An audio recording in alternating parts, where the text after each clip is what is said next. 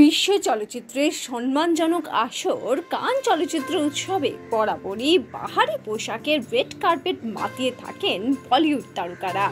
দীপিকা পাড়ুকোন ঐশ্বর্য রায় বচ্চন, হিনা খান, হুমা কুরেশি, সোনাম কাপুরের মতো তারকারা জমকালো পোশাকে রেড কার্পেট মাতিয়েছেন। কয়েক দশক আগেও হাতে গোনা কয়েকজনই পা রাখতে পারত সেখানে। কিন্তু আন্তর্জাতিক গান চলচ্চিত্র উৎসবে ক্রমশই ভিড় বাড়ছে ভারতীয় তারকাদের। তাতে ছোট, বড়, মাঝারি সব তারকাদেরই সমাগম চোখে পড়ছে গত কয়েক বছর ধরে। এবারে কানে ভারতের তরফে সামনে থেকে প্রতিনিধিত্ব করেছেন দীপিকা পাড়ুকোন। বিশ্বের তাবর পরিচালক অভিনেতাদের ছবি সেখানে প্রদর্শিত হয়।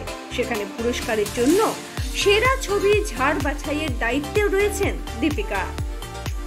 ফিউশন দিয়ে শুরু করলেও সব্যসাচীর শাড়িতে প্রচারের সব আলো শুষে নিয়েছেন দীপিকা। ডিজাইনার সব্যসাচী মুখোপাধ্যায়ের তৈরি শাড়ি, ঝাড়বাতি, কানের দুল এবং চোখের মেকআপে নজর কেড়েছেন তিনি।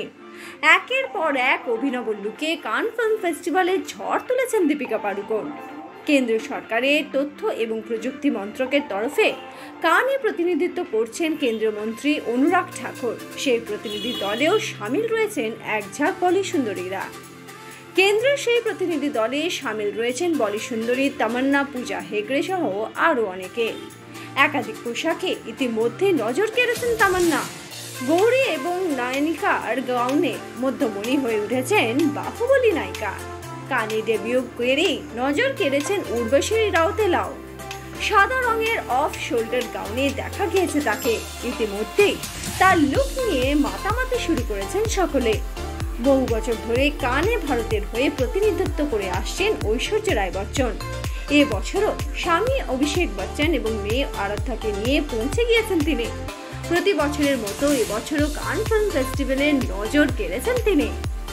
টেলিকুইন হিনা খানও এবছর কানে রয়েছেন। অন্য নায়িকাদের মতো তিনিও বিশেষভাবে নজর কাটছেন এই ফিল্ম ফেস্টিভ্যালে হিন্দি টেলি জগতের তারকা হেলি শাহেরও এবার কানে অভিষেক ঘটেছে। তিনিও বিশেষভাবে নজর কেড়েছেন সকলে। বলা যেতে পারে, এবছর বলি সুন্দরীরা বিশেষ ভাই ভাই জায়গা করে নিয়েছেন এই ফিল্ম ফেস্টিভ্যালে তাদের নিয়ে ইতিমধ্যে বিশ্বজুড়ে চর্চাও হচ্ছে।